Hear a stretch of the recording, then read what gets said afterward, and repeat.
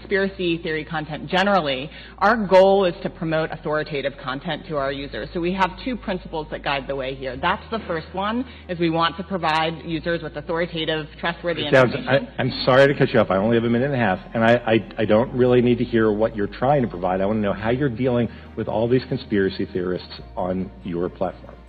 So the, the first way is by demoting low quality content and promoting more authoritative content. And the second is by providing more transparency for users. So we're introducing boxes that provide factual information at the top of results that have shown themselves to turn up a lot of information that is counterfactual, such as searching for the earth is flat on YouTube, where you see a lot of. Your response is to put a box saying, nope, the earth is not flat.